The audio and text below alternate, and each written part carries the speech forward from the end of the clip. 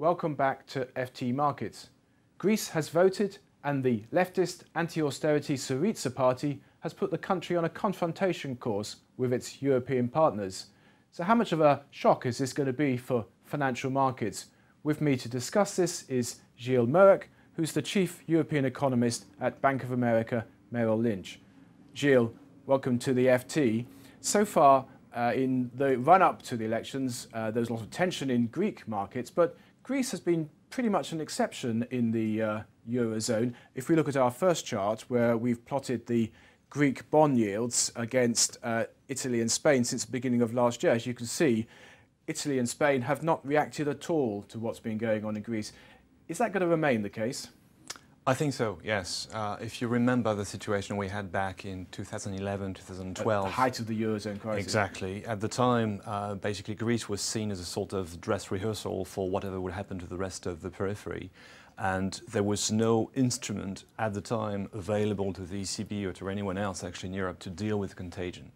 Uh, this has changed already uh, after September 2012 when Draghi unveiled OMT, which offered whatever protection, it whatever it you. takes, yeah. some protection against contagion, even if it was more complicated than it seemed, but some protection.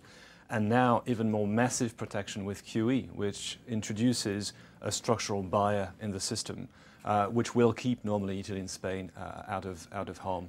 Uh, we need to be patient and look at the long-term effect, but for the time being, it should be, it should be okay. What do you expect to happen in, in the days and, and weeks ahead then in Greece? Um, I would expect quite a lot of noise, quite a lot of volatility, because the problem here is that probably everyone on both sides of the fence, in Athens and in the Troika, and in Germany, and in Germany, understand that there is a need for compromise.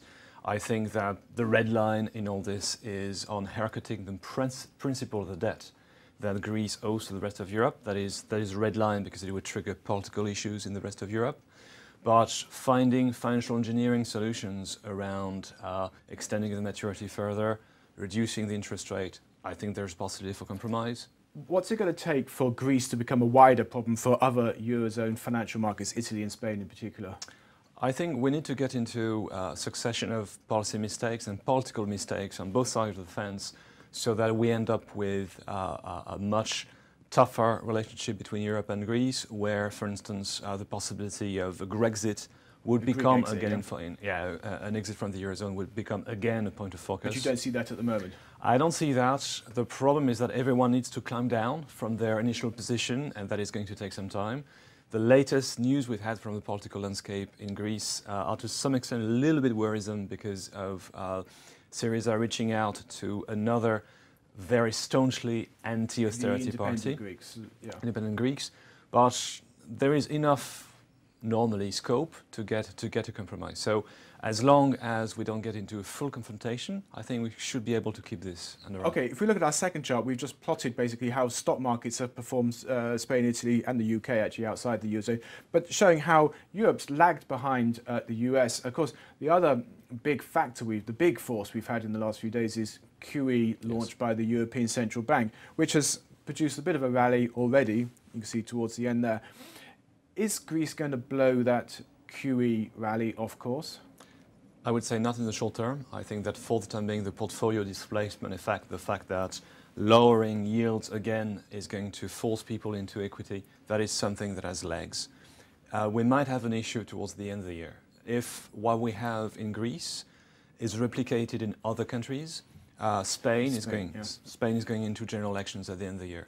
So if Syriza uh, builds this uh, counter narrative to the adjustment and manages to convince enough people in the rest of the periphery that actually it's possible to find another path, then you could have issues surrounding uh, Spanish debt as well towards the end of the year. Okay, we'll have to stop there, Gilles. Thank you very much. So Greece, not for the moment disrupting financial markets or blowing off course the effects of QE, but watch what goes on in other countries, particularly Spain.